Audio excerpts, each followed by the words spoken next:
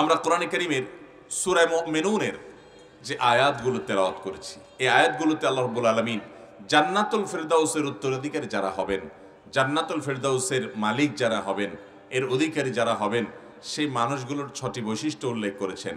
এবং এদের বৈশিষ্ট্যগুলো বলতে গিয়ে আল্লাহ শুরুতে বলেছেন, কদ আফলাহাল মুমিনুন। সে সকল ইমানদাররা সফল হবে, সার্থক হবে। সকল ইমানদাররা সফল, সার্থক হবে না। নামে মুসলমান হইলেন, মুসলমানের ঘরে জন্ম নিলেন, আল্লাহর প্রতি ইমান আনসের মুখে বললেন, আর আপনি সোজা জান্নাতে ঢুকে গেলেন। এত সহজ না ভাইয়ের আমার। সফল ইমানদার হতে হলে আপনাকে কিছু কাজ করতে হবে, কিছু বৈশিষ্ট্য এর অধিকারী হইতে হবে। তার ভিতরে এক নম্বর হলো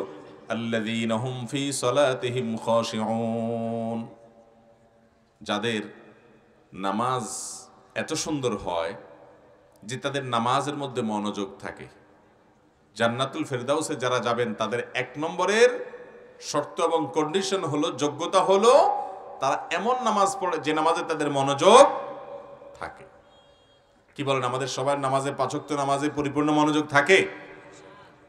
ভাইরা আমার, সফল ইমানদার এবং জান্নাতুল ফেরদাউসের অধিকারী হওয়ার জন্য প্রথম শর্ত হলো খাশিউন, যারা তাদের নামাজের মধ্যে মনোযোগ ধরে রাখতে পারে। নামাজের মধ্যে, সালাতের মধ্যে মনোযোগ ধরে রাখতে পারা, এটা যে কত বড় একটা চ্যালেঞ্জিং বিষয়, এটা প্রত্যেকটা নামাজি মানুষই জানেন। ঠিক না ঠিক। চার রাকাত নামাজে চার হাজার কথা স্মরণ হয়।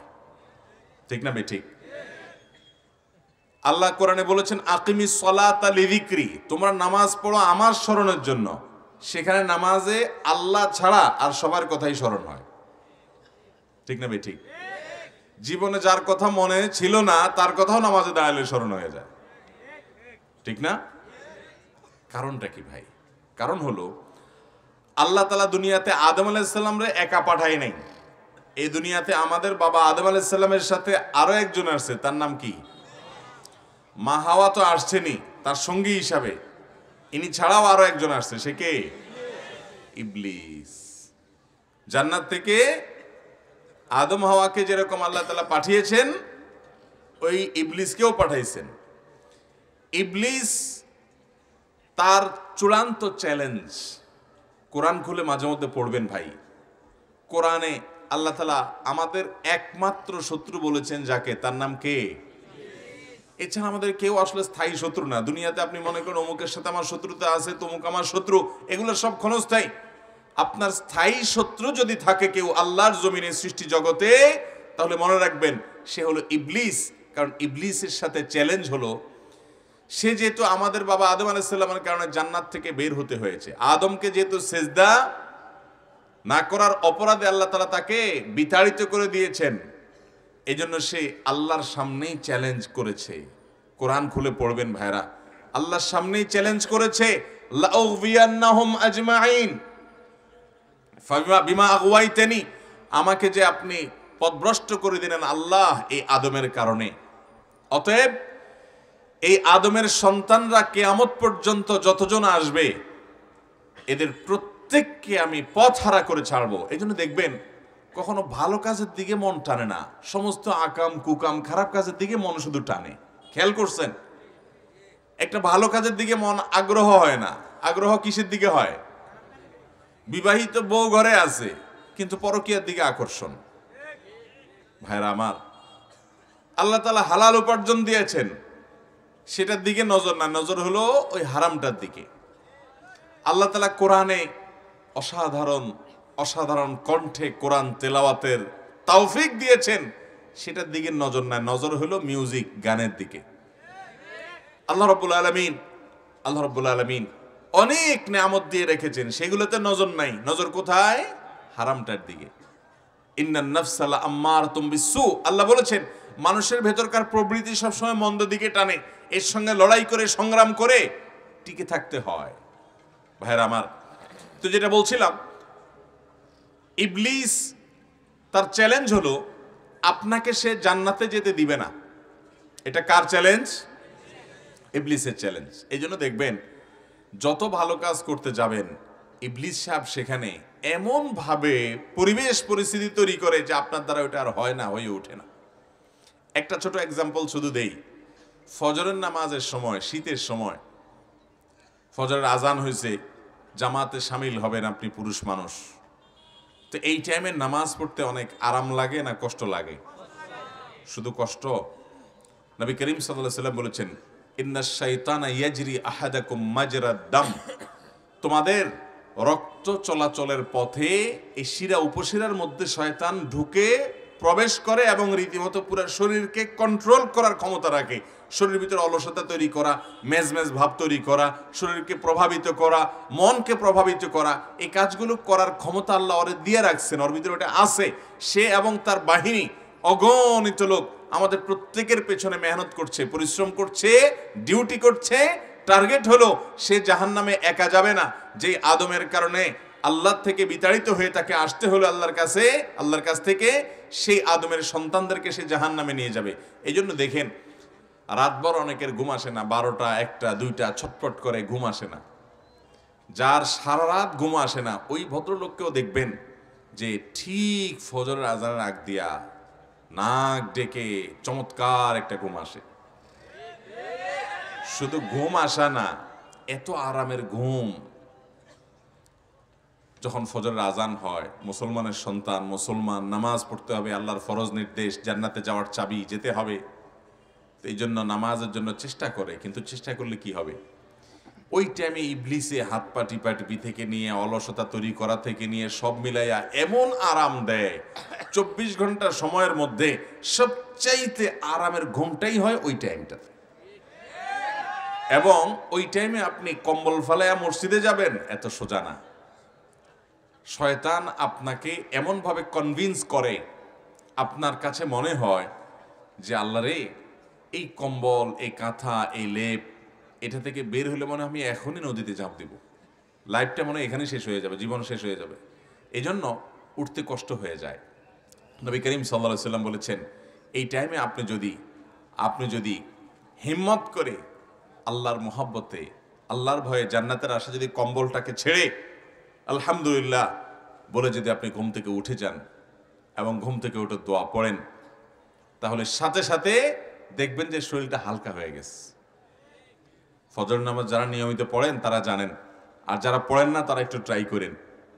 ফজরের সময় উঠতে কষ্ট হয়তো একদিন একটু সাহস করে, হিম্মত করে কম্বল টম্বল ফলাই উঠে যান। দেখবেন যে শরীরটা একটু হালকা হয়ে গেছে। ঠিক না ভাই? ঠিক। এরপরে যখন আরেক দফা আপনি চ্যালেঞ্জের মুখে পড়ে হলো উজু। ওরে আল্লাহ, এই ঠান্ডার মধ্যে কীভাবে উজু করব? কনকনে শীত, ভয়ঙ্কর ঠান্ডা। কেমনে এখানে হাত দেবো? হাতটা দিলেই তো লাইফটা শেষ। শয়তান বুঝে দিয়ে থাকে তখন, বাবা, এখানে হাত দিলে তুই মরে যাবি, কেমনে হাত দিবি ঠান্ডা পানি? আজকাল তো গিজার আছে, আলহামদুলিল্লাহ। যাদের গিজার নেই তাদের কি হবে? আর গিজার থাকলেও এই মুজা, টুজা, জামা, কাপড় খুলে আবার উজু করা। তখন আপনি হিম্মত করে যদি অজুটাও বিসমিল্লাহ পড়ে আল্লাহর নাম নিয়ে শুরু করেন অজু করার পরে দেখবেন শরীরটা আরও পাতলা হয়ে গেছে।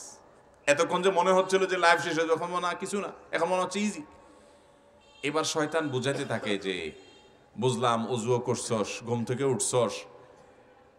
আরে, বেশি ঠান্ডা পড়লে বাসায় নামাজ পড়া জায়েজ আছে। এই মাছ আলাদা কে?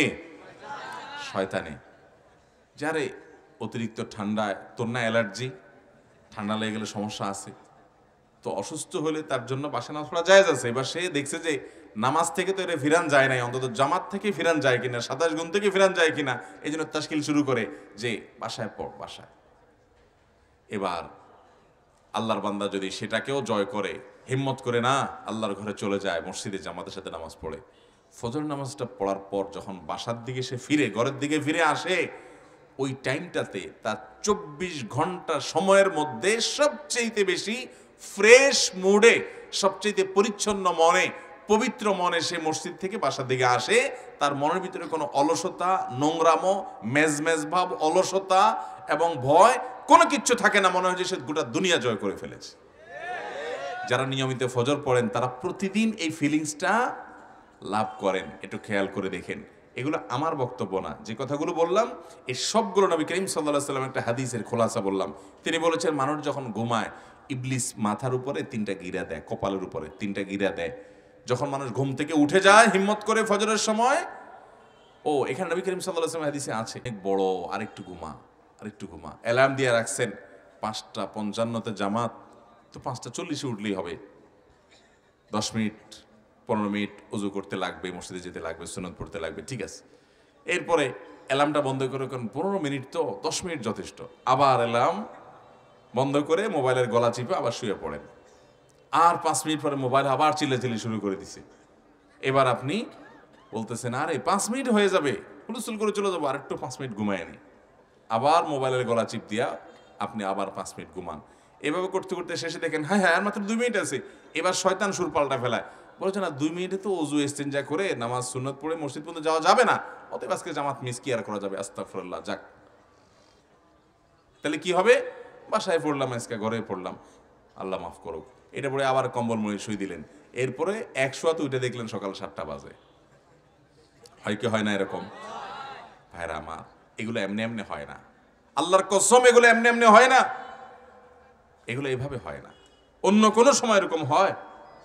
এই যে খেলা দেখার জন্য রাত তিনটা পর্যন্ত জায়গায় আছেন। কই? আপনার কাছে তো একটু অলসতাও লাগে না, একটু খারাপও লাগে না, একটু খেয়াল করে দেখেন। তখন বরং আরও জোশ অনুভব করেন, তাই না? মনের ভিতরে খুব ফুর্তি অনুভব করেন। ঘুমায় থাকলে ভূতের মতো জায়গায় জায়গায় উঠেন। কয়টা বাচ্চা আর কতক্ষণ আছে? খেলা শুরু হয়েছে ঠিক না ভাই, ঠিক?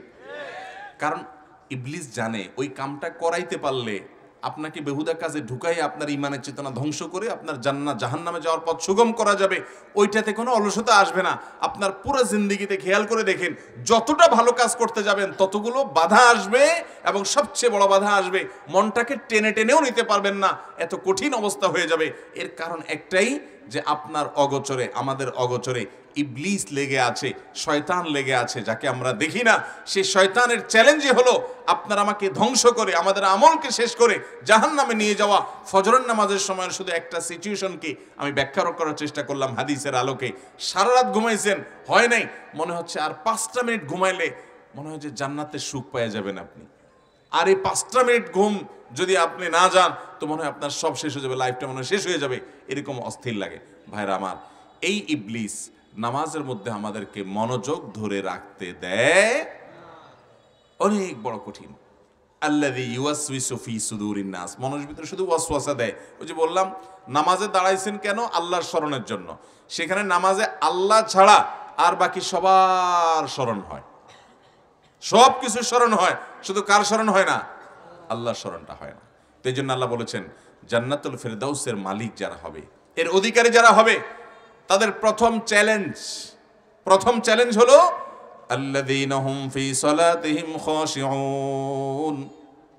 তাদের নামাজের মধ্যে তারা মনোযোগ ধরে রাখতে পারবে। ভাইরা আমার, এই সংগ্রাম প্রতিদিন করতে থাকি আমরা সবাই। আমিও চেষ্টা করি, আমরা সবাই চেষ্টা করি। প্রতিদিন যুদ্ধ, সংগ্রাম নিজের সঙ্গে নামাজে মনোযোগ ধরে রাখতে হবে।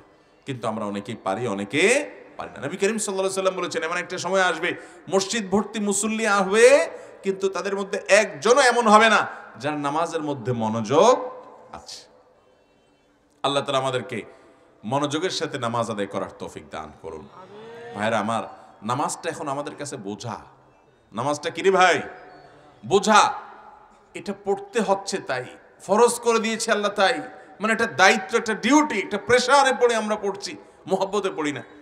ভাইরা আমার, আল্লাহর প্রিয় বান্দা যারা ছিলেন, ইসলামের ইতিহাসের পূর্বসূরি সালাফে সালেহিন যারা ছিলেন সাবা একরাম যারা ছিলেন, আপনার আমার প্রাণের নবী সাল্লাহ আলাইসাল্লাম নামাজের মধ্যে স্বাদ পাইতেন স্বাদ পাইতেন, তৃপ্তি পাইতেন, ইবলিস ইবলিসি করে কুলাইতে পারতো না ওনাদের সাথে। তিনি বলতেন, বেলালকে ডেকে, আরিহানা বিহা ইয়া বেলাল। ও বেলাল, নামাজের আজান দিয়ে মানুষকে একত্রিত করে ডেকে জামাতের আয়োজন করে, নামাজের ব্যবস্থা করে আমাকে শান্তি দাও, তৃপ্তি দাও, কারণ ওইটা ছাড়া আমি শান্তি পাই না। ভোর রাতে যখন দাঁড়ায় নামাজ পড়তেন, এত দীর্ঘ কেরাত, এত দীর্ঘ রুকু, এত দীর্ঘ সেজদা, আম্মা জান আয়েশা রাদিয়াল্লাহু বলেছেন, লা তাসআল আন হুসনিহিন্না ওয়া তুলিহিন্না। নবীজি সাল্লাল্লাহু আলাইহি সাল্লাম রাত্রে যে নামাজ পড়তেন তাহাজ্জুদের সেগুলোর সৌন্দর্যের কথা আর বলো না। তিনি যখন দাঁড়ায় কেরাত শুরু করতেন, মনে হয় আর জীবন রুকুতে যাবে না। এত লম্বা কেরাত। আমরা অপেক্ষা করতাম কিরে রুকুতে যায় না কেন? রুকুতে যাওয়ার পরে যখন আল্লাহর পবিত্রতা জ্ঞাপন করা শুরু করতেন, এত মজা পাইতেন, এত স্বাদ পাইতেন, রুকু থেকে আর মাথা তুলতেন না। আমাদের আয়েশা বলেন যে, আমরা তখন অপেক্ষা থাকতাম, কি ব্যাপার? মাথা তোলে না কেন? একটা মানুষ কতক্ষণ রুকুতে থাকতে পারে? কষ্ট তো হয়। কতক্ষণ? মনে হচ্ছে তিনি আর মনে মাথা উঠাবেন না। এত লম্বা সময় রুকু করতেন। রুকু থেকে উঠে দাঁড়িয়ে আবার একইভাবে সেজদা গেলে একই রকম, এরকম। আর আমরা তো কোন রকম ঠুক ঠুক ঠুক ঠুক করে রুকু, সেজদা দিয়ে মসজিদ থেকে পারলে চলি। ভাইরা আমার, তখন নবী করিম সাল্লাহ সাল্লামকে আমাদের আয়সা জিজ্ঞেস করেছেন, ইয়া রাসূলুল্লাহ, আপনি এত কষ্ট করে এত লম্বা নামাজ পড়েন কেন? আপনার কি ঠেকা পড়ছে? আল্লাহ না আপনার আগে পরে সব মাফ করে দিয়েছেন, সুরা ফাতাতে ঘোষণা দিয়েছেন? আপনার না সব মাপ আপনি আপনার প্রিয় বান্দা, আপনার তো আখরাতে কোনো টেনশন নেই। তাহলে আপনি কেন এত কষ্ট করেন? তখন তিনি বলেছেন, আফালান আকুনা আবদান শেকুরা, আমি কি আল্লাহর কৃতজ্ঞতা আদায়কারী বান্দা হব না? আল্লাহ আমাকে যে নেয়ামত দিয়েছেন, এই কৃতজ্ঞতাই তো আমার রুকু সেজদা পড়ে থাকা দরকার। ভাইরা আমার, সেই নামাজ আজ আমাদের থেকে হারিয়ে গেছে। আমরা নামাজে মনোযোগ রাখতে পারি না সাল পাই না। আমি এ বিষয়ে আজকে আলোচনা করতে বসি নেই, কারণ আমাকে ছয়টা পয়েন্ট বলতে হবে। একটা পয়েন্ট এখনও বলছি, শেষ করতে পারি নাই। আমি সংক্ষেপে বলছি, নামাজের মধ্যে মনোযোগ কীভাবে আনবেন? নাম্বার এক নামাজে মনোযোগ আনার জন্য আপনার প্রথম চ্যালেঞ্জ হবে, আমি কোনো হারাম উপার্জন করব না, হারাম বক্ষণ করব না। হারাম থেকে বাঁচিয়ে থাকব, নিজেকে, নিজের পরিবারকে বাঁচাবো। হারাম উপার্জনকারী ইবাদতের স্বাদ পায় না ভাই। অনেক টাকা পয়সা কামাইছেন, দুই নম্বর পথে হালাল, হারাম বাজ বিচার করা ছাড়া বৈধ, অবৈধ বিভিন্ন পথে ইবাদতের স্বাদ আপনার জন্য না। এবাদতের স্বাদ পেতে হলে হালাল উপার্জন করতে হয়। আল্লাহ তালা কোরআনের জন্য তার নবী রাসুলদেরকে বলেছেন, ইয়া আইয়ুহার রসুল, হে রাসুলগণ, কুলু মিনাত তৈবাত হালাল খাও। এরপরে বলেছেন কি? ও আমালু সলেহা নেকামল করো। ভালো কাজ পরে আগে হালাল খাও। আর আমাদের সমাজে ইবলিস আমাদেরকে বলে কি? আরে, আগে টাকা ধরে নিতে হয়। জন বয়সে চাকরি একটা পাইছস, ব্যবসা একটা করা শুরু করছস, হাত দিলেই খাঁচা টাকা আসে, একটু এদিক সেদিক করলেই হয়ে যাচ্ছে। লাল হয়ে যাবে, টাকা আগে কামায় এনে আরে টাকা হইলে বাঘের মাথাও পাওয়া যায়। টাকা কামায় এনে টাকা কামায় আঙ্গুল ফেলে কলা গাছ হয়ে যাচ্ছে, জায়গা কিনছে, বাড়ি করতেছে, গাড়ি করতেছে, ফ্ল্যাট করতেছে, প্লট করতেছে, একটার পর একটা আগাইতেছে হনহনায়ের সামনে আগাচ্ছে। এরপরে যখন টাকা অনেক হয়ে যায়, এবার বিশাল পয়সাওয়ালা মানুষ, লম্বা একটা টুপি, মুখে কিছু দাড়ি, একটা জুব্বা, একটা হজ, কয়েকটা ওমরা কিছু মসজিদ, মাদ্রাসা ইট, সিমেন্ট, বালু, কিছু মসজিদ, মাদ্রাসা নিজে করে দিয়ে মাহফিলে লাখ লাখ টাকা দিয়ে দিল হাজি সাহেব। হাজি সাহেবকে এখন সবাই মারহাবা দেয়, বক্তা সাহেব মারহাবা দেয়, খতিব সাহেব মারহাবা দেয়, হুজুর সাহেব মারহাবা দেয়, নারায় তাকবিদ দেয়। উনি তো অনেক বড় হাজি সাহেব। অথচ হাজি সাহেব বলেন চোর, হাজি সাহেব বলেন ডাকাইত, হাজি সাহেব হলো মানুষের রক্ত চোষা, হাজি সাহেব হলো হারামখোর, হাজি সাহেব হলো দুর্নীতিবাজ। এখন উনি হাজি সাহেব সাচ্ছেন এই হাজি সাহেবের হাজিগিরি মানুষের কাছে চলবে। কারণ আমরা তো আর কেউ কারোর ব্যাকগ্রাউন্ড জানি না। কিন্তু আল্লাহর কাছে কোনো কিছু ধামা চাপা দেওয়া যাবে? সব আল্লাহ তালা জানেন। ভাইরা আমার এই জন্য আল্লাহ আগেই বলে দিয়েছেন, কুলু মিনাত তৈবাত হালাল খাও। হালাল উপার্জন করো, এরপরে নে কামল করো। আমরা বলি না, আগে কামায়নি এরপরে শেষ বয়সে তসবি নিয়ে বসে যাব মসজিদে। মোয়াজ্জেন সাহেব ঠেলেও বাইর করতে পারবে না। যে দরজা লাগাবো, চাচা বাড়িতে যান। আরে ভাই, এত অস্থির হয়ে গেছে, এটা আল্লাহরও ডাকতে পারি না। এখন উনি আল্লাহ ডাকা শুরু করছে। পয়সা করি কামাই, ভাইরা আমার। এই জন্য আমরা দুর্নীতিমুক্ত বাংলাদেশ গড়তে হলে আমাদের যুবক, তরুণ ভাইদেরকে শপথ করতে হবে। আমি অবৈধ কোনো কম্পিটিশন করব না, অবৈধ কোনো প্রতিযোগিতা করব না। আমার বাবা মা, আমার স্ত্রী পরিবারকে বোঝাতে হবে, আমি ডাল ভাত খেয়ে থাকব, আমি দুর্নীতি করব না, অন্যায় করব না, অবৈধ উপার্জন করব না, ইনশা আমাদের এই প্রিয় স্বদেশ, এটা সোনার বাংলাদেশ হওয়ার পথে সবচেয়ে বড় বাধা হলো এই দুর্নীতি। এর চেয়ে বড় কোনো বাধা নাই। এই একটা অপরাধের লাগাম যদি আমাদের সর্বোচ্চ চেয়ার থেকে সর্বনিম্ন চেয়ার পর্যন্ত যদি আমরা ধরতে পারতাম, আমাদের সবাই যদি আমরা সততা, নীতি, নৈতিকতা এটা আমাদের মধ্যে আসতো, তাহলে এই দেশটা সোনার বাংলাদেশ হতে আর সময় লাগতো আল্লাহ তালা আমাদের প্রিয় স্বদেশকে প্রিয় স্বদেশকে দুর্নীতিমুক্ত একটা সুন্দর একটা সুখী, একটা সমৃদ্ধ দেশ হিসাবে গড়ে তোলার তৌফিক আমাদেরকে দান করুন। এই জন্য ভাইয়ের, আমার লোভকে জয় করতে হবে, লোভ নিয়ন্ত্রণ করতে হবে, লোভকে প্রশ্রয় দেওয়া যাবে না। আল্লাহ আমাদেরকে তৌফিক দান করুন। নামাজে মনোযোগের জন্য ভাই, এক নম্বরের শর্ত হলো হালাল উপার্জন। আপনি দুনিয়াও চাইবেন, আখেরাতেও চাইবেন। হ্যাঁ দুনিয়া হালাল উপার্জন করে যদি আপনি কুটিপতি হয়ে যান, কোনো অসুবিধা নাই। আল্লাহর অনেক বান্দা আছেন, কোটি কোটি টাকার বিজনেস হোল্ডার অনেক বড় বড় পদে আল্লাহ নিয়ে গেছেন, অনেক বড় বড় সরকারি কর্মকর্তা আছে, ব্যক্তিগতভাবে আমি চিনি। অনেক বড় বড় কর্মকর্তা আছেন, এক পয়সা জীবনে করে দিন, দুই নম্বর পথে কামান নাই। আল্লাহ এরকম বহু বান্ধা এখনও আছে, পরিমাণে কম, এই সংখ্যাটা বাড়াতে হবে, সেটাই আমাদের দায়িত্ব। মুশকিল হলো আশপাশের লোকজন। সমস্যা হলো আশেপাশের লোকজন। আপনি সৎ থাকতে চাইবেন, অন্য সবার কথা বাদ দেন, আপনার বাপ মাই বলবে, বাবা, এভাবে কি দুনিয়া চলে রে বাপ? অমুকের ছেলে অমুকের ছেলে দেখোস না, বাজারে জমি রাখছে, ক্ষেত খামার সব কিনে ফেলাইতেছে হ্যাঁ? দোতলা করার পর তিনতলার জন্য রড বাইর করে দিছে দেখোস না? এসব কে বলে? নিজের মা বাপ বলে। এই জন্য মা বাপকে নিয়ে তাদের সাথে বেয়াদেবি করা যাবে না। পায়ের কাছে বসে চোখের পানি ফেলে একটু মা বাপকে বলবেন, মা, গোটা দেশ কিনে ফেললাম। দিন শেষে জাহান্নাম আমার ফায়সালা হলো। এই দেশ যেটা কিনে ফেলছি, এটা নিয়ে তো যেতে পারব না, মা। ওই কাপনের কাপড়, ওখানে পকেটও নেই। কাপড়ের কাপড়ে কি নেই? পকেটও নাই যে কিছু নিয়ে যাব, মা। কিসের জন্য? আমি অবৈধ উপার্জন করব, নাতিপোতারা ভাবসাব নিয়ে রাস্তাঘাটে ঘুরে বেড়াবে, আর মুগুর আমার পিঠের উপরে পড়বে। এর চাইতে বড় গাধা, এর চাইতে বড় বেকুব আর নির্বোধ আল্লাহর জমিন আর কে আছে?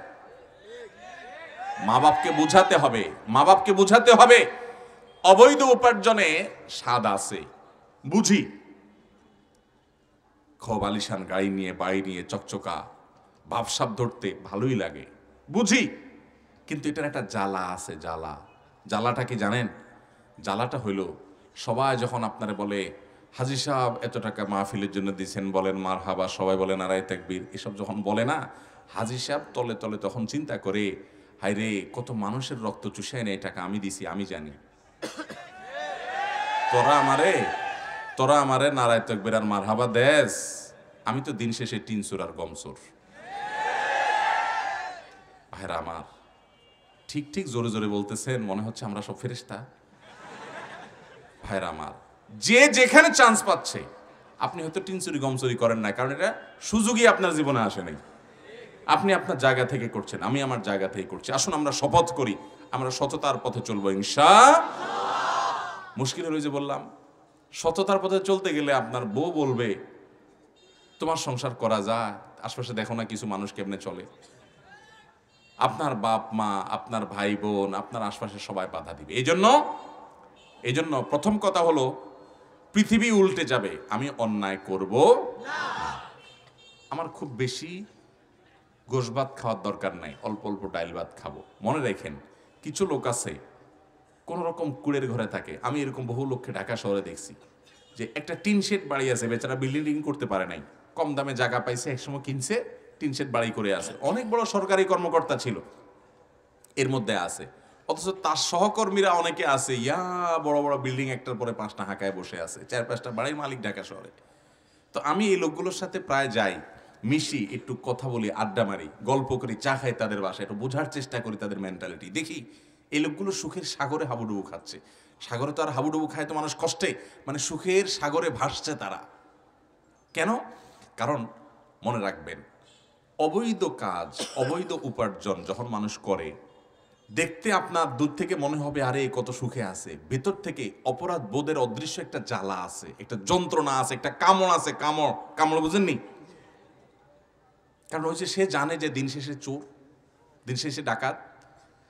একজন আমার এক খুব ক্লোজ মানুষ এখনও বেঁচে আছেন, অনেক বয়স হয়ে গেছে, একদম শেষ মুহূর্তে। উনি একশো ম্যাজিস্ট্রেট ছিলেন। তো আমাকে, আমি তখন ঢাকার মণিপুরে এক মসজিদে নামাজ পড়াই।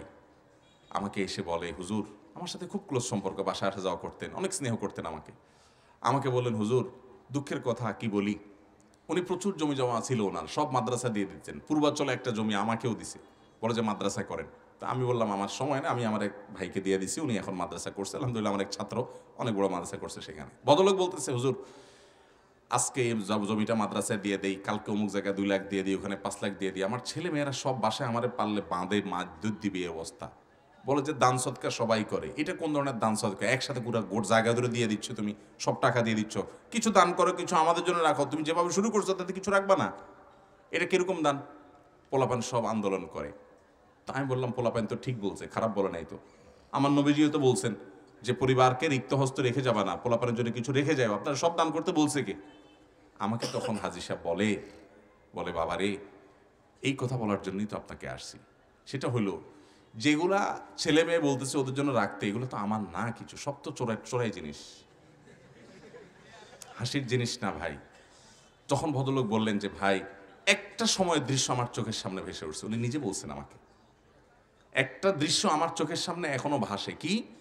যে কোনো একটা জেলার নাম বলছেন, আমি নাম বলব না। বলেন যে অমুক জেলাতে আমি ম্যাজিস্ট্রেট ছিলাম।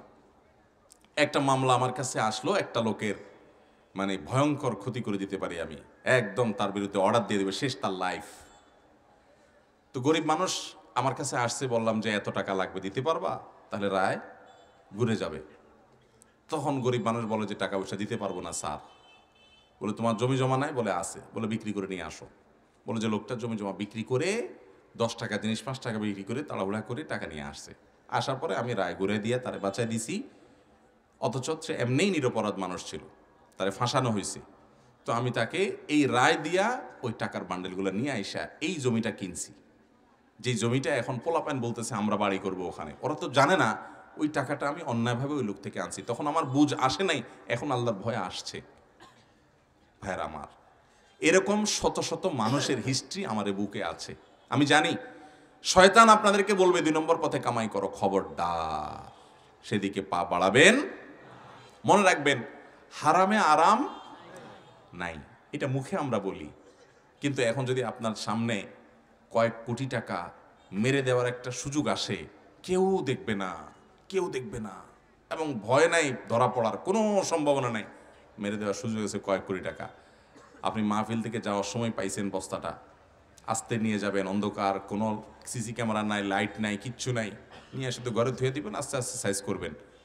শয়তান আপনাকে বলবে, আরে, নিয়ে যা। নিয়ে যা, পরে মাপটাপ চাবি, কিছু মসজিদ মাদ্রাসা দিয়ে দিবি। কিছু দিয়ে দিলে হুজুররা এমনি মার হাবা দিবে। কালো টাকা সাদা হয়ে যাবে। ভাইরা আমার, আহা! তো এই জন্য সংগ্রাম করতে হয়। যে কথা বলছিলাম যে, অবৈধ এবং দুই নম্বর পথে যে কামাই হয় এই কামাইটার পর একটা জ্বালা আছে, জ্বালা। ওই যে বুড়ার কথা বলছি, হাজি সাহেব, ওই বেচারাকে অবৈধ উপার্জনের জ্বালায় জ্বালাতন করতো, এটা আমরা জানি না। যারা দুই নম্বর পথে উপার্জন করে, ওরা জানে। ওদেরকে দেখলে মনে অনেক সুখে, ভিতরে জাহান্নাম, ত্রাস, কারণ ও জানে, দিন শেষে সে দুর্নীতিবাজ, সে খারাপ মানুষ, সে জানে, এই টাকাগুলো আরেকজনের, মানুষের অন্যায়ভাবে উপার্জন করছে। এই জন্য মন ভরে সেটা ভোগ করতে পারে না। কিন্তু এর বিপরীতে একজন মানুষ গরিব, তিনি সৎ ছিলেন জন্য বেশি পয়সা করতে পারেন নাই। ডাল ভাত খায়, কিন্তু প্রচণ্ড তৃপ্তি। কারণ তার মনের দিক থেকে এই সাপোর্ট আসে যে, আলহামদুলিল্লাহ, আমি কখনো দুই নম্বর পথে কামাই করি নাই। একটা বল থাকে। এই জন্য নবী সাল্লাহ সাল্লাম বলেছেন, লাইসাল গেনা বিকাসরাতিল আরজ। অনেক সম্পদের মালিক হওয়ার নাম ধনী হওয়া নয়। ওলা কিন্নাল গেনা গেনার নাফস।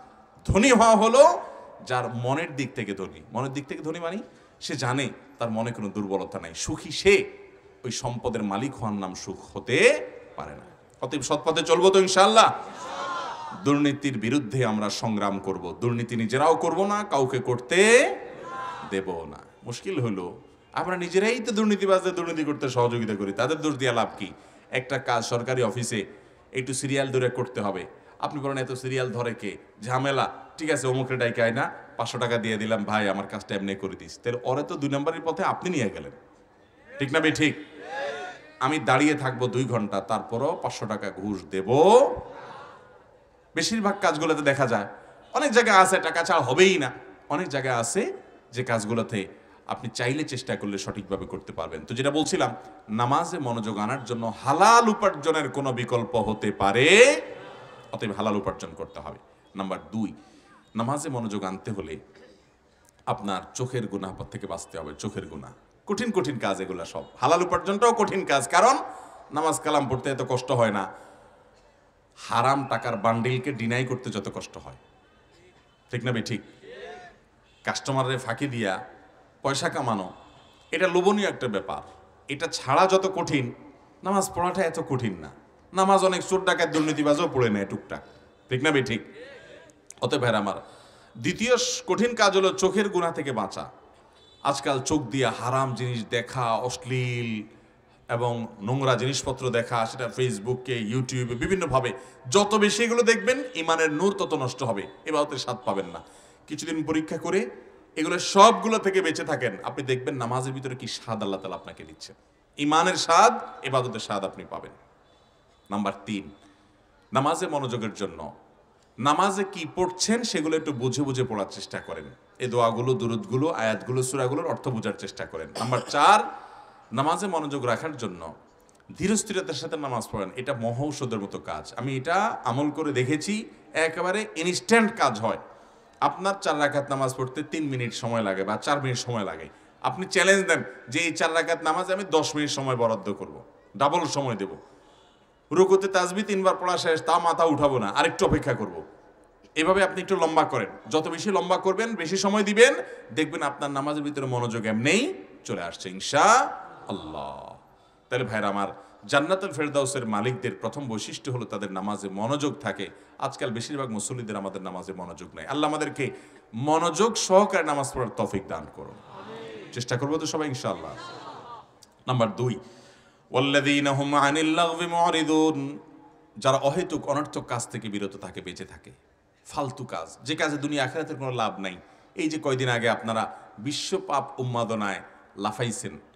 লক্ষ লক্ষ মানুষের কোটি কোটি ঘণ্টা দেশে, কোটি কোটি মানুষের কোটি কোটি ঘণ্টা দেশে নষ্ট হয়েছে বিশ্বকাপ উপলক্ষে, রাত জেগে। এটাতে আপনার নিজের কয় পয়সা ইনকাম হয়েছে অনেকের হয়েছে এই বিশ্বকাপকে কেন্দ্র করে আমাদের দেশে অনেক বড় বড় মনিটরে খেলা হয়েছে। বেট ধরেছে, বাজি ধরেছে, জুয়া এবং হারাম উপার্জন অনেকে করেছে। কিন্তু বৈধ পথে এই কামে কোনো উপার্জনের কোনো সুযোগ আছে? কিন্তু আমরা দেখছি। কেন দেখছি ভাই? নিজেরাও ভালো করে বলতে পারব না।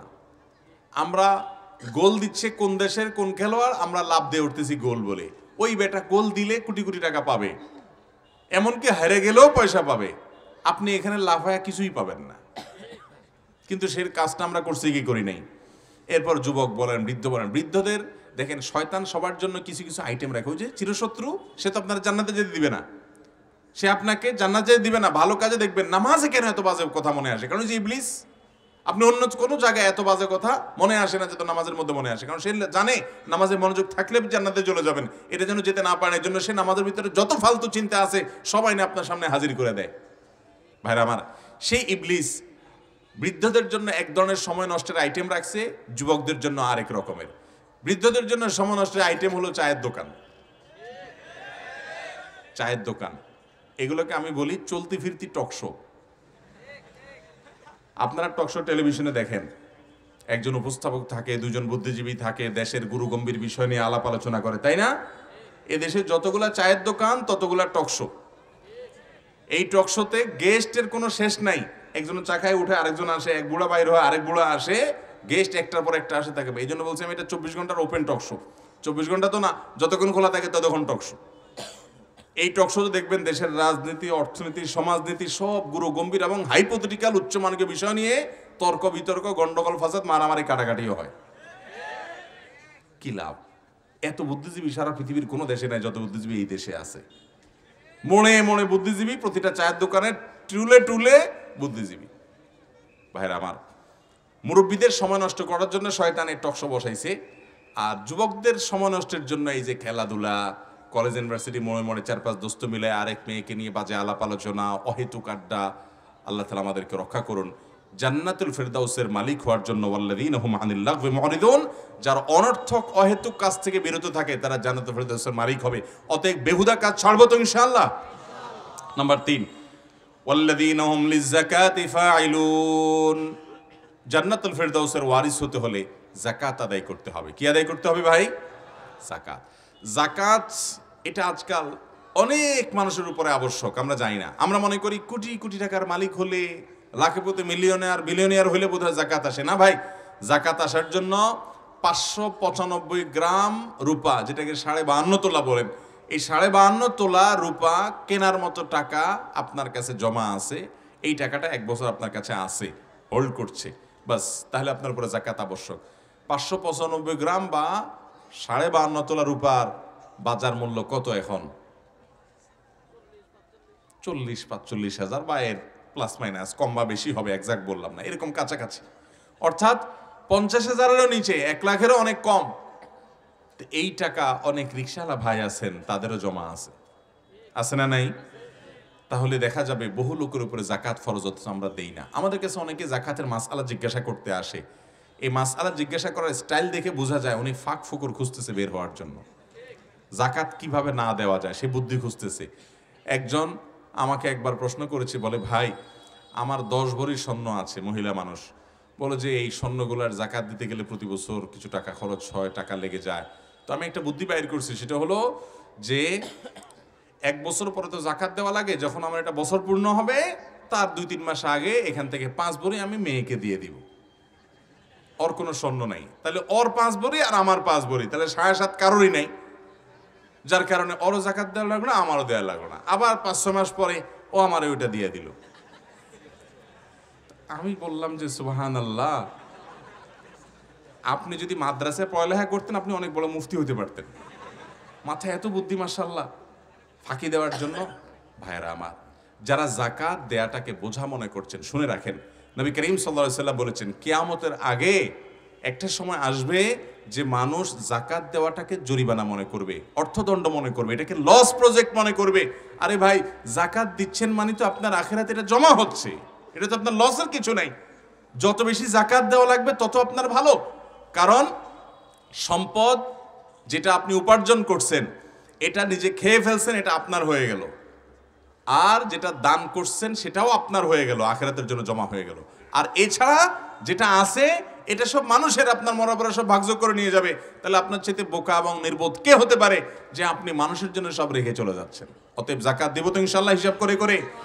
জাকাতকে যারা অর্থদণ্ড মনে করে, জরিমানা মনে করে, এটাকে লস মনে করে তারা বোকার স্বর্গে বাস করছে, তারা ভুলের মধ্যে আছে। জাকাতকে কখনো এটাকে জরিমানা মনে করা যাবে না। আপনার অনেক খরচ আছে, নিয়মিত দান করা হয় না।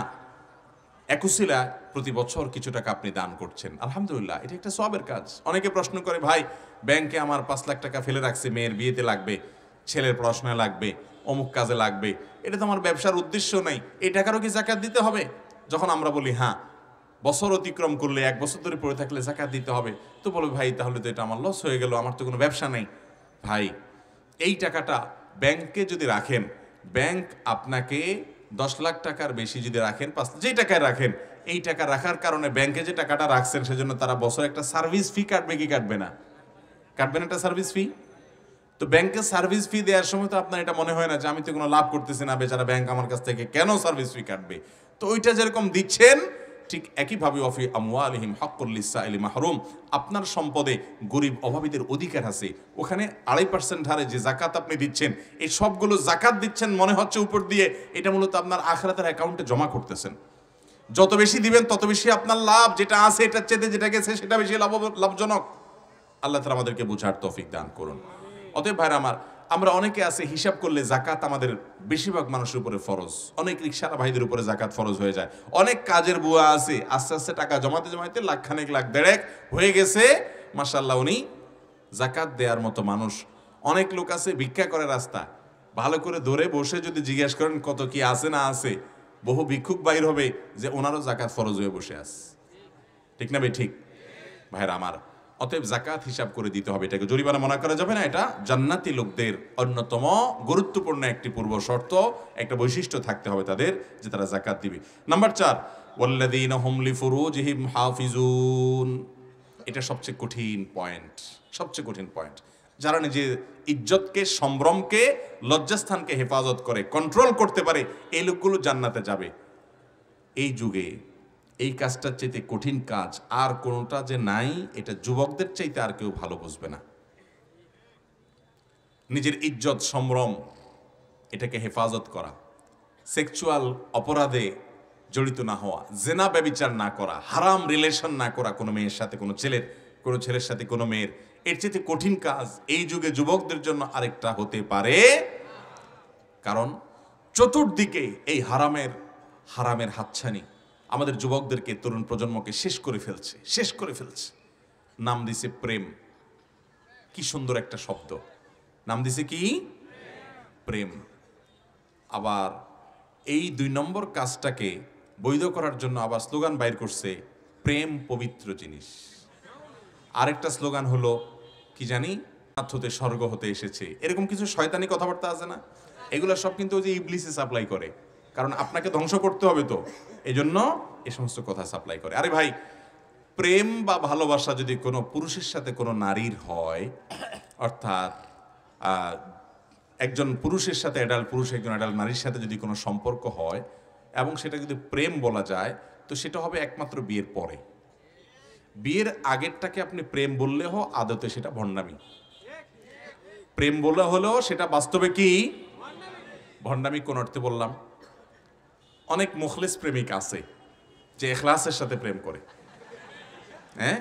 মানে কোনো দুই নম্বর নিয়ত নাই। এটার সংখ্যা খুব কম। না, হুজুর মানুষ বলে আরেকজন। না না। হুজুর মানুষ হলে সে আবার প্রেম করবে কেন? এটা দুই নম্বর হুজুর যদি করে।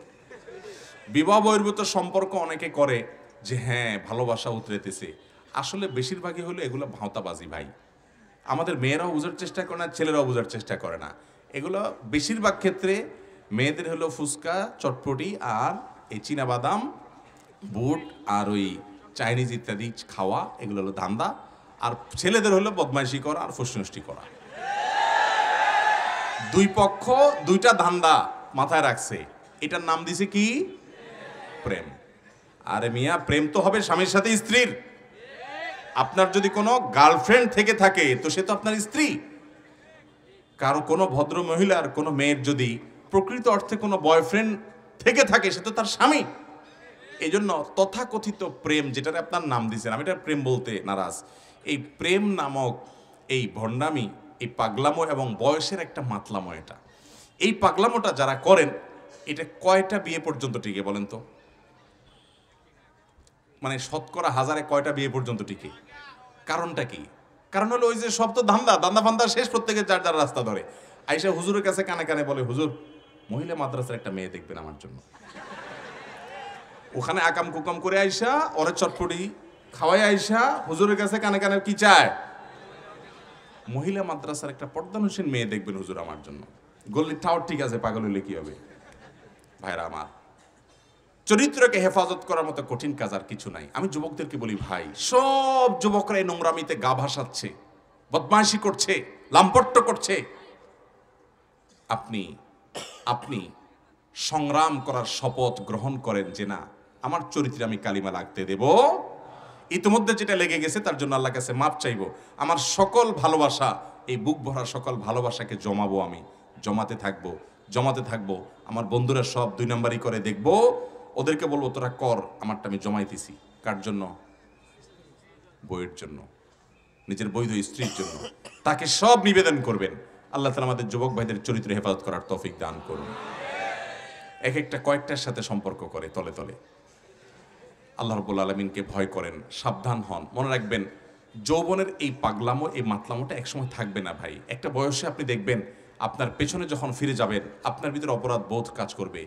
আপনি একটা সময় লজ্জিত হবেন, অনুতপ্ত হবেন, কিন্তু আর ফিরে যেতে পারবেন না। যুবক ভাইরা এখনও সময় আছে।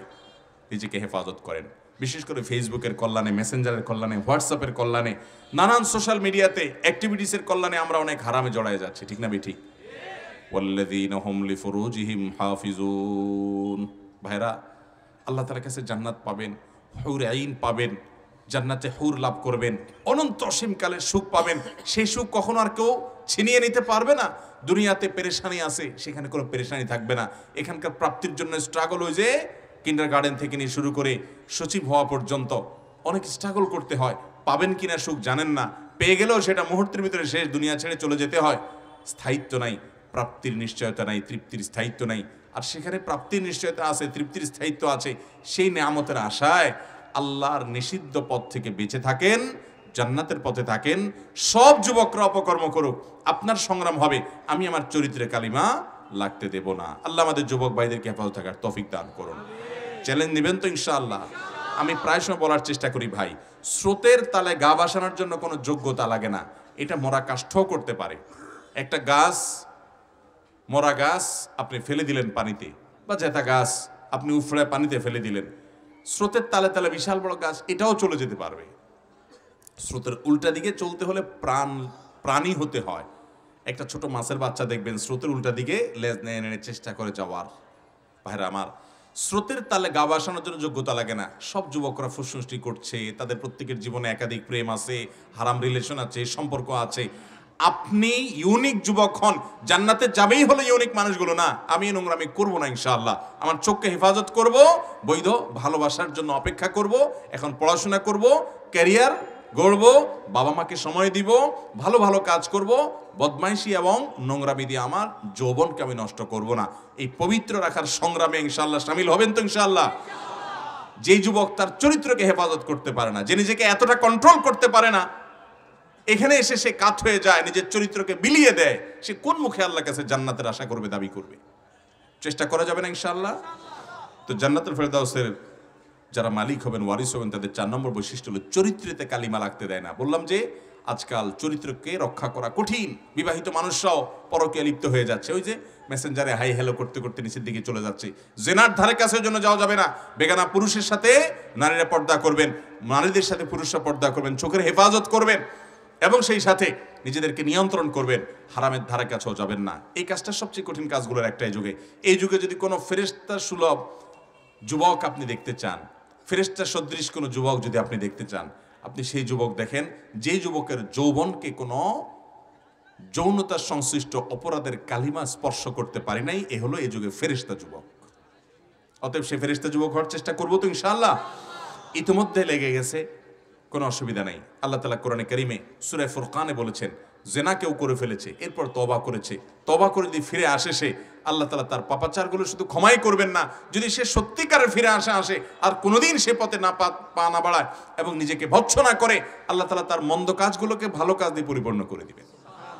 অতএব যুবক ভাইরা তবা করব তো ইনশাআল্লাহ?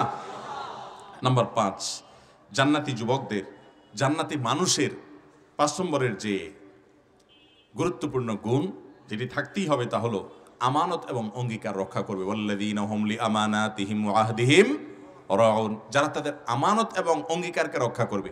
আমানতের খেয়ানত এখন ঘরে ঘরে। এটা নিয়ে আমি বিস্তারিত ব্যাখ্যা যাব না, আমার হাতে একেবারেই সময় নেই। আমানত এবং অঙ্গীকারকে আমরা অনেকভাবে নষ্ট করি। তার একটা এক্সাম্পল দিই। ধরেন, আপনার সাথে আপনার কোনো একজন দোস্ত একটা ভয়েস রেকর্ড পাঠাইছে মেসেঞ্জারে বা হোয়াটসঅ্যাপে। সে এটা আপনাকে একান্তে বলছে। এটা অন্যদের কাছে সে হয়তো শেয়ার করবে না। খুব সিক্রেট বিষয় বা সবার কাছে এটা বলবে না। আপনি কি করলেন? তার অজান্তে এটা আরেকজনকে শেয়ার করলেন। এবার সে তাকে নিয়ে ট্রলবাজি করতেছে। এগুলো হয় কি, হয় না আমাদের মধ্যে? নবী করিম সাল্লাহ সাল্লাম বলেছেন, ইদা হাদ্দাসার রজুলু ফালতা ফাতা ফাহিয়া আমানা। কেউ তোমার সাথে কথা বলেছে। কথা বলার পর সেখান থেকে সে অন্যদিকে ফিরেছে। তাহলে এই কথাটা তোমার কাছে আমানত। যেখানে বললে সে অসন্তুষ্ট হবে, সেখানে কথা তুমি বলতে পারবা না। তাহলে আমানতের খেয়ানত করবা। আমানতের খেয়ানতের হাজারটা দৃষ্টান্ত দেওয়া যাবে। আল্লাহ আপনাকে একটা চেয়ারে বসিয়েছেন, আপনি চাকরি পাইছেন। এই চেয়ারটা আপনার কাছে আমানত। এখন দেখা যায় পাবলিক লাইন ধরে দাঁড়ায় আছে। আপনার একটা শ্যালক আসছে, দুলাভাই, আপনার চেয়ারে কাজটা কিন্তু। দুলাভাইয়ের কাছে আসছে। এখন এই শালা কি সিরিয়ালে থাকে না সিরিয়াল ছাড়া আসে? আমানতের খেয়ানত। আমানতের, আমরা এগুলোকে এগুলোকে অপরাধ মনেই করি না, ভাবেই না।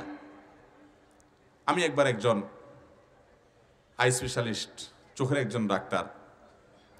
ওনার কাছে একবার চোখ দেখাতে গিয়েছি। আমার খুব ক্লোজ মানুষ। তো প্রসঙ্গত উনি আমাকে বললেন যে, ভাই, উনি যখনই আমি যাইতাম লোকদেরকে উপস্থিত যারা অপেক্ষা আছেন সিরিয়াল ধরা, তাদেরকে বলতেন যে, ওনাকে, ওনাদের মাধ্যমে আমাকে বলতেন যে, আমি ওনাকে দেখি। বা ওনারা অনেক সময় বললেন, ঠিক আছে চান আমাকে বলতেন, শেষের দিকে আসেন, লোক থাকবে না। আমাকে উনি বললেন একবার যে, ভাই এই যে মনে করেন আমার পছন্দের কোনো লোক আসলো, ধরেন আপনি আসলেন। আমাদের কথা কিছুটা ভিন্ন যে আমরা গেলে হয়তো উপস্থিত লোকরা অনেক সময় চিনে, দেখা বলবে, ঠিক আছে হুজুর, আপনি যান। কিন্তু আপনি সাধারণ কথা চিন্তা করেন, ডাক্তার সাহেবের শালা আসলো। তো শালা তো দুলাবার কাছে সিরিয়াল ধরে বসে থাকবে না। নাহলে তো ভাইয়ের চাকরি থাকবে না বোনের কাছে। সোজা হন হনায় ঢুকে যাবে। কিন্তু যে লোকগুলো সিরিয়াল ধরে আছে, তাদের অধিকার না এটা? তাদের অধিকারটা নষ্ট হয়ে গেল না? এইভাবে আমানতের খেয়ানত এই চেয়ারটা একটা আমানত, এই পদটা একটা আমানত। আমি যে কথা বলছি, ওয়াজ মাহফিল করছি, এটা আমানত। এই মাহফিলটা আয়োজন করতে অনেক টাকা ব্যয় হয়েছে, অনেক পরিশ্রম হয়েছে, কষ্ট করে তারা আয়োজন করেছেন। আমি এখানে কিছু সময় পাইছি সময়টা আমার কাছে আমার এই সময়টা যদি আমি পাগলামি করে, হাসি মাতলামি করে, বেহুদা কাজ করে, নষ্ট করে ফেলি, আমি আমানতের খেয়ানত করলাম। ভাইরা আমার, এভাবে যদি আপনি দেখেন, প্রতিটা পদে পদে আমাদের আমানত রক্ষা করা কিংবা নষ্ট করার প্রশ্ন আসে। এই জন্য আল্লাহ বলেছেন, জান্নাতের লোকদের বৈশিষ্ট্য হলো ওয়াল্লাদিন হুমলি আমানাত হিম আহদিহিম যারা তাদের আমানত রক্ষা করে এবং অঙ্গীকার রক্ষা করে। জান্নাতের লোকদের সর্বশেষ বৈশিষ্ট্য হলো ওয়াল্লাদিন হুম আলা সলাওয়াতিহিম ইউ হাফিজুন যারা তাদের নামাজগুলোকে হেফাজত করে। নামাজগুলোকে হেফাজত করে। প্রথম শর্ত হলো, নামাজকে মনোযোগের সাথে পড়ে। আর শেষেরটা হলো, নামাজগুলোকে হেফাজত করে। তার মানে নামাজগুলোকে যথাযথ সময়ে টাইমলি পড়ে এবং কোনো প্রকার অবহেলা করে না। তাহলে প্রথমটা এবং শেষেরটা একই রকম শোনা গেলেও দুইটা দুই জিনিস। প্রথমটা হলো মনোযোগ রাখা আর দ্বিতীয়টা হলো সময় মতো, ঠিক মতো, নিয়মিত নামাজ আদায় করা, অনিয়মিত না হওয়া। এই ছয়টা বৈশিষ্ট্য যদি থাকে, আবারও বৈশিষ্ট্যগুলো বলছি, যারা নামাজের ভিতরে মনোযোগীরা মনোযোগ ধরে রাখতে পারে, এটার জন্য যা যা করা দরকার সেগুলো করবে। নামাজের আগে মোবাইল টিভি বন্ধ করবে, মনোযোগের সাথে ধীরে নামাজ পড়বে, নামাজে মনোযোগ রাখবে। যারা অহেতুক, অনর্থক, বেহুদা কাজ করে না ইমানদার বেহুদা ফালতু কাজে মাতলামি, উন্মাদনা করবে না। তিন নম্বর, যারা জাকাত আদায় করে। জাকাত ফরজ হলে জাকাত আদায় করে। চার নম্বর, লজ্জাস্থানের হেফাজত করে। কখনো জেনা, জেনার ধারে কাছে যায় না, চোখের জেনাও করে না। আল্লাহর ভয় এগুলো থেকে বাঁচিয়ে রাখে নিজেকে। এবং নাম্বার পাঁচ, আমানত এবং অঙ্গীকার, কথা দিলে বা আল্লাহ তালা কোনো গুরুত্বপূর্ণ দায়িত্ব দিলে, সে দায়িত্ব তিনি পালন করেন, খেয়ানত করেন না। অঙ্গীকার করলে কথা দিলে, সে কথা রক্ষা করে জীবন গেলেও। নাম্বার ছয় পাঁচক্ত নামাজ। সময় মতো, নিয়মিত আদায় করে জীবনে কখনো ছাড়ে না। এই ছয়টা কাজ যারা করবে, আল্লাহ বলেছেন উলা ইকা হোমল ওয়ারিফুন এই লোকগুলো হলো ওয়ারিস, জান্নাতের অধিকারী। আল্লাযীন ইয়ারিসুন আল ফিরদাউস হুম ফিহা খালিদুন। যারা জান্নাতুল ফিরদাউসের মালিক হবে, অধিকারী হবে, এবং সেখানে চিরকাল থাকবে দুনিয়ার মতো ছুটে যাওয়ার, হারায় ফেলার বা এটা আমার কাছে থাকবে না, সে ভয় থাকবে না। বরং সেখানে একবার জান্নাতে গেলে অনন্ত অসীম কাল পর্যন্ত সেটা ভোগ করতে থাকবে। আল্লাহ রব্বুল আলমিন এই ছয়টা গুণ এবং বৈশিষ্ট্য আমাকে, আপনাদের সবাইকে, আমাদের সবাইকে আমল করার তৌফিক দান করুন। এবং এই বৈশিষ্ট্যগুলো অর্জন করে জান্নাতুল ফেরদৌসের মালিক হওয়ার তৌফিক আল্লাহ আমাদেরকে দান করুন। জাজাকুমুল্লাহ খায়রা ওয়াখরুদ আওয়ান আলহামদুলিল্লাহ আলামিন। সময় নেই।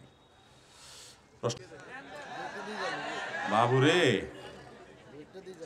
আর রাতে সময় তো না। আচ্ছা এতনে কইছে, এতন প্রধান অতিথি মাশাআল্লাহ মাশাআল্লাহ মাশাআল্লাহ মাশাআল্লাহ, বারাকাল্লাহ আমার সময় নেই, আমার যেতে হবে। এরপরে আলোচককে, আলোচক রেডি রাখেন। ভাইরা আমার, শেখ আবদুল্লাহ মোহাম্মদ সাইফুল্লাহ আপনাদের প্রিয় আলোচক, তিনি ইনশাল্লাহ কিছুক্ষণের মধ্যে এসে পৌঁছাবেন। পাশেই আছেন, ছোট শালগড়ে আছেন। এবং একটু পরে তিনি রওনা দিয়ে চলে আসবেন ইনশাল্লাহ এসে আলোচনা করবেন। পুরো মাহফিলটাকে সুন্দর করে শেষ পর্যন্ত এটাকে সুচারুরূপে সম্পন্ন করে তারপর আপনারা বাড়ি যাবেন। ভাইয়ের অনেকের অর্থ আছে এখানে, পরিশ্রম আছে, আমাদের স্বেচ্ছাসেবক ভাইদের অনেকের পরিশ্রম আছে। মাহফিলটা সুন্দরভাবে যেন সুসম্পন্ন হয়, আল্লাহ তালা সেই তৌফিক দান করুন। কয়েকটা প্রশ্ন আছে ভাই, দেখি আমি কয়টা প্রশ্নের উত্তর দেওয়া যায়, আল্লাহ আল্লাহ করি। এগুলো তো প্রশ্ন। ভাই, উঠাউঠি করলে তো হবে না। আমি অনেক দূর থেকে আসছি, আমি উঠিনি আপনারা উঠে গেলে কেমন হবে? উঠবেন না। আমাদের এলাকায় একটা মসজিদে প্রত্যেক ওয়াক্ত নামাজের পরে মুসল্লিরা সবাই মিলে কবর জিয়ারত করে, কবরস্থানের সামনে দাঁড়িয়ে জিয়ারত করে। ইমাম সাহেবকেও থাকা লাগে, উনি না থাকলে ওনার সমস্যা হয়। দয়া করে জানাবেন এটা সঠিক কিনা। দেখুন, কবর জিয়ারত করা গুরুত্বপূর্ণ একটা ইবাদত সবের কাজ। নবী সাল্লাহ সাল্লাম বলেছেন, জোরুল কুবুর ফাইন্নাহা তুজাক্কিরকুমুল্লাহ আখেরা বা নাহাইতুমুল কুবুর, একসময় তোমাদেরকে কবর জিয়ারত করতে আমি নিষেধ করেছি বিশেষ কারণে। এখন তোমরা ফাজুরুহাল আন, এখন তোমরা কবর জিয়ারত করো। ফাইন্নাহা তুজাক্কিরকুমুল আখেরা, কারণ কবর জিয়ারত আখেরাতের কথা স্মরণ করায় দেয়। কবর জিয়ারত করলে কৃষি কথা স্মরণ হয়? আখেরাতের, এই জন্য কবর জিয়ারত করা সুন্নত। কিন্তু কবর জিয়ারত, এটার জন্য কোনো দলীয় রূপকে যদি কেউ আবশ্যক বানিয়ে নেয়, সেটা বেদাত হতে পারে। হ্যাঁ এমন হতে পারে যে কিছু লোক মসজিদ থেকে বের হয়েছে পাশে কবরস্থান, জিয়ারত করতে করতে কয়েকজন হয়ে গেছে। সবাই জিয়ারত করছে। তো দলীয় রূপ হয়ে গেছে অটোমেটিক এটা হতে পারে, এটাতে অসুবিধা নেই। কিন্তু না, বের হতে হবে ইমাম সাহেবের নেতৃত্বে। ইমাম সাহেব পড়বেন, সবাই সাথে সাথে আমিন আমিন বলবেন।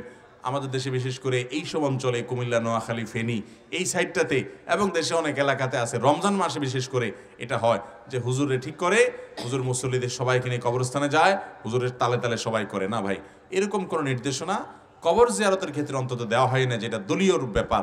নামাজের মধ্যে ইমাম সাহেবের নেতৃত্বে নামাজ পড়তে হবে, পাঁচ নামাজ, ঠিক আছে। কবর জিয়ারত এরকম দলীয় ভাবে বা দলবদ্ধভাবে করার জিনিস না, বরং এটা প্রত্যেকে ইন্ডিভিজুয়াল ভাবে করবে। ইন্ডিভিজুয়াল ভাবে করতে করতে দলীয় রূপ হয়ে গেল, সেটা হতে পারে। আবার কখনো এমন হলো যে একজন হয়তো অন্যরা কবরের দোয়া, সালাম পেশ করবে কীভাবে জানে না, তিনি শিখাই দিলেন সবাইকে। এটা হতে পারে। কিন্তু এটা যদি নিয়মিত আমল হয় এবং এটা যদি সবসময় হয়, তাহলে সেক্ষেত্রে এটা বেদাহাতের দিকে পর্যবসিত হতে পারে। কোন ইমাম সাহেবকে এই জন্য বাধ্য করা জায়েজ নাই। কবর জিয়ারত করা একটা নফল আমল, ব্যক্তিগত আমল। ইমাম সাহেবকে যদি আপনি বাধ্য করেন, সে রাইট আপনাকে কে দিয়েছে? যে আপনি ইমাম সাহেবকে বাধ্য করবেন, এটা জায়েজ নাই। এরপরে প্রশ্ন হলো, স্থায়ীভাবে বসবাস ও উচ্চশিক্ষা কিংবা টাকা উপার্জনের জন্য অমুসলিম দেশে যাওয়া যাবে কিনা? ভাইরা আমার, তিরমিজি বর্ণিত এক হাদিসে নবী করিম সাল্লাল্লাহু সাল্লাম বলেছেন, আনা বারি ও মিনকুল্লি মুসলিমিন ইয়কিমু বাইনা আজহরিল মুশরিকিন। অর্থাৎ আমি সেই সকল মুসলমানদের ব্যাপারে কোনো দায়িত্ব নেব না। তাদের ব্যাপারে আমার কোনো দায়িত্ব নেই। যে মুসলমানরা মুশ্রিকদের মধ্যে বসবাস করে, তাদের ভেতরে বসবাস করে। অর্থাৎ এমন জায়গায় বসবাস করে যেখানে শির্কের ছড়াছড়ি, সেখানে শির্কের আয়োজন আছে। মানুষ ব্যাপকভাবে শিরকে লিপ্ত, কুফুরিতে লিপ্ত। এরকম পরিবেশে যদি মুসলমান গিয়ে বসবাস করে তাহলে সেক্ষেত্রে সেই পরিবেশের দ্বারা প্রভাবিত হয়ে তিনি যদি ধ্বংস হয়ে যান, নবী সাল্লাহ সাল্লাম বলেছেন, তার দায়িত্ব আমি নেব না। এই জন্য ভাইরা অমুসলিম প্রধান দেশে আপনি পড়াশোনা করার জন্য গেছেন। জায়েজ হতে পারে। সেখান থেকে আমি জ্ঞান অর্জন করলাম, শিক্ষা অর্জন করলাম, করে চলে আসলাম। ওকে, এটা ঠিক আছে। আপনি সেখানে গেছেন ব্যবসা বাণিজ্যের জন্য মিটিং এর জন্য, ওকে, এটাও ঠিক আছে। আপনি সেখানে গেছেন সরকারি, বেসরকারি কোনো কাজে ঘোরার জন্য, শিক্ষা অর্জনের জন্য ঠিক আছে। কিন্তু আপনি সেখানে গেছেন কেন? একটু হালুয়া রুটি খাওয়ার জন্য। একটু পনির খাওয়ার জন্য, একটু সুখে শান্তিতে থাকার জন্য। আমাকে গতকালকে না জানি পরশু এক যুবককে জিজ্ঞেস করলাম, কি করে না করে? তো পড়াশোনার কথা বলে টলে আমাকে বলতেছে যে ইনশাল্লাহ কানাডা যাব ভাই, নিয়ত করছি, দোয়া করিয়ে আমি কই, ভাই কানাডা কেন? বলে যে, না মানে আমি বললাম, না মানে কি? পড়াশোনা করতে যাবে, মোস্ট ওয়েলকাম। পড়াশোনা করে ফিরে আসো। আমাদের দেশ থেকে যে সমস্ত যুবক ভাইয়েরা বাহিরে চলে যান, বিশেষ করে পশ্চিমা দেশগুলোতে, এদের ম্যাক্সিমাম আর ব্যাক করে না। বরং দেশে জমি জমা যা আছে এগুলো বিক্রি করে টাকাটা ডলার করে নিয়ে যায়। ঠিক না বে ঠিক। এক মধ্যপ্রাচ্য প্রবাসী, এই কপাল পড়া ভাইয়েরা আমার, যেহেতু সেখানে নাগরিকত্ব পাওয়ার সুযোগ নাই, সুযোগের অভাবে শতবর্ষ।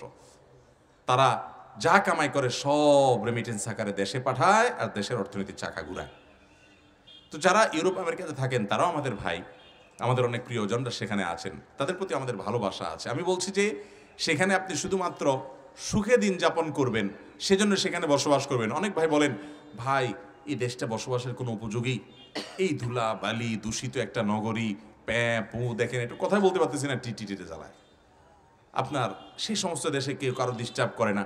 আপনি জাপানে যাবেন, দেখবেন মানুষ রাস্তার পাশে কথা বলে, যদি কথা বলতে হয় ফোনে হেডফোনে কথা বলে। আস্তে আস্তে কথা বলে, কারোর জন্য ডিস্টার্ব না হয়। আমি নিজে অবাক হয়েছি। অনেক দেশে যাওয়ার সুযোগ হয়েছে, আমার দেখলাম যে অমুসলিমরা তারা কত কত অন্যের অধিকার পরে সচেতন। এদেশে বসবাস করার সুযোগ নাই। তো আমাদের এই অজুহাতে অনেক যুবক ভাইরা বাইরে গিয়ে পাড়ি জমায়। ভাই, ভালো করে শুনে রাখেন।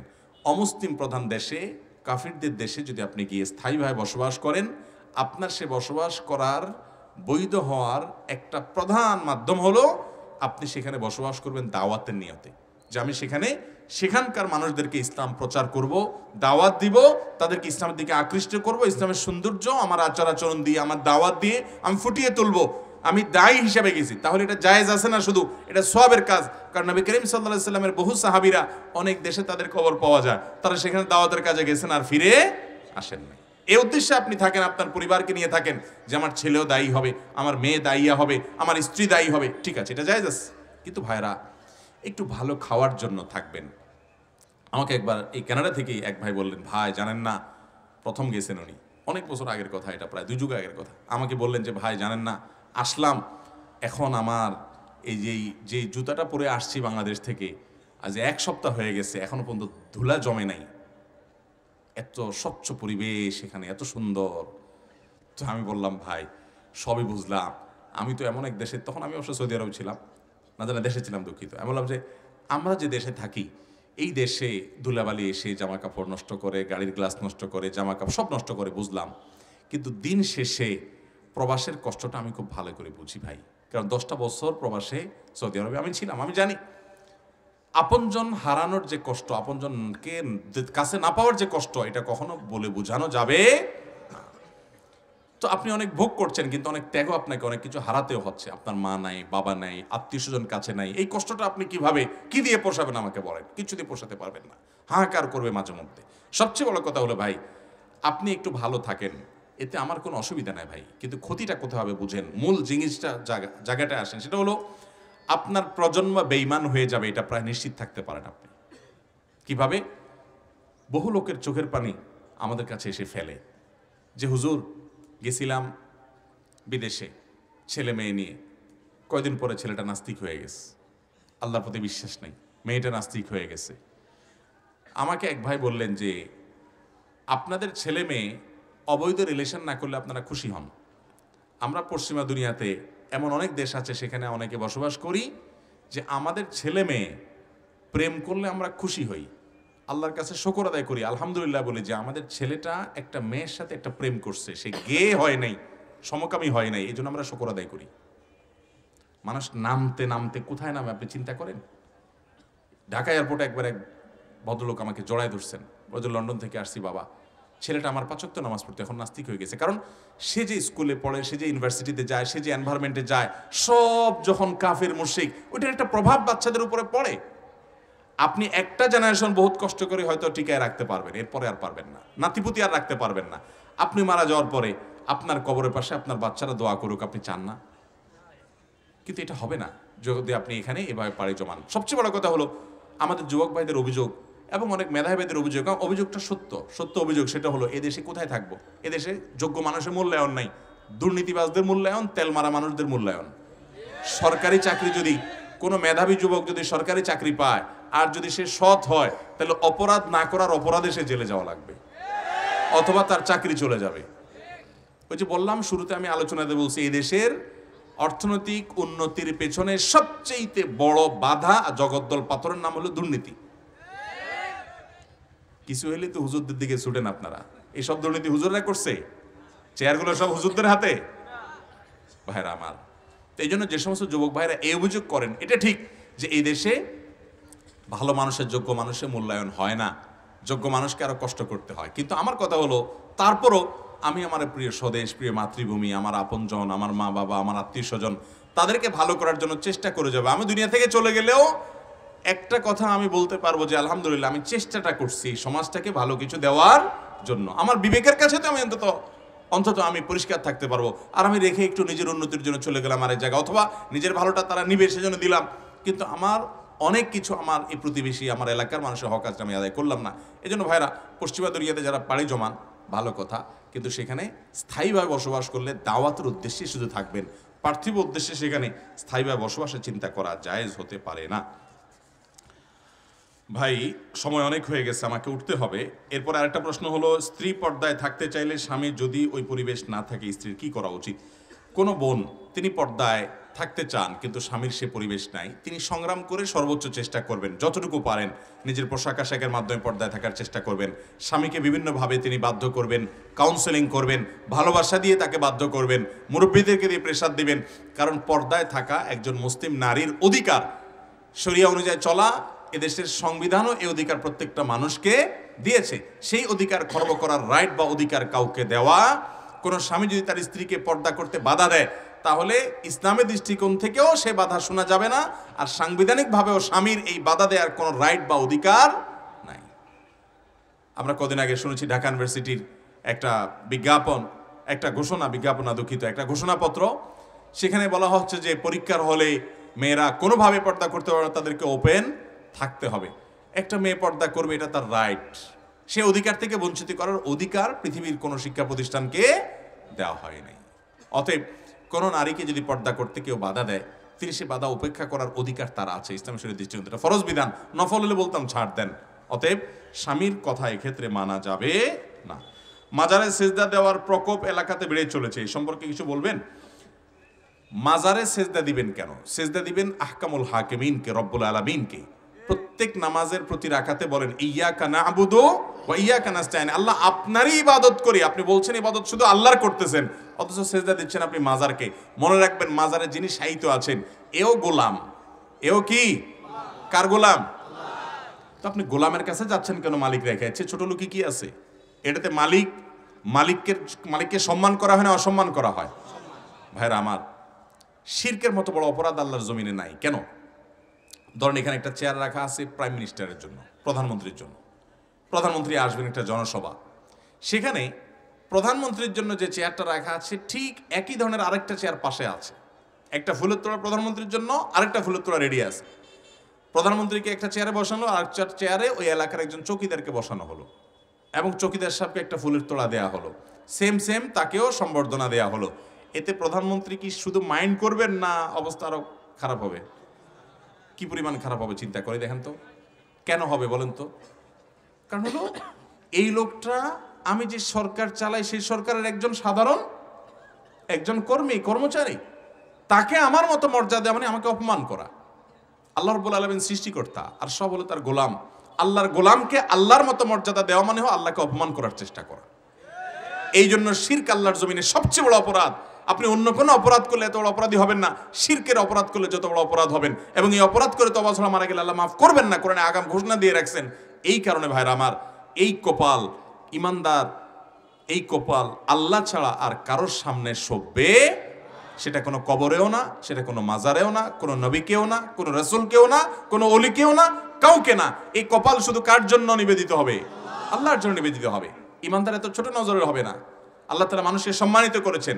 শির্ক হলো মানবতার অপমান, কারণ মানবতা তার রবকে সকল শ্রদ্ধা নিবেদন করবে। বিদায়, কোনো মাজারে সিজদা করলে সাথে সাথে মানুষ বেঈমান হবে, ইসলাম থেকে বাইরে হয়ে যাবে। তবা করে তাকে আবার ফেরত আসতে হবে ইসলামে। আল্লাহ তালা আমাদেরকে ভয়াবহ, কাবিরা গুণা এবং শির থেকে বেঁচে থাকার তৌফিক দান করুন। জাজাকমুল্লাহ খেরা ওয়াখরুদ্দাওয়ান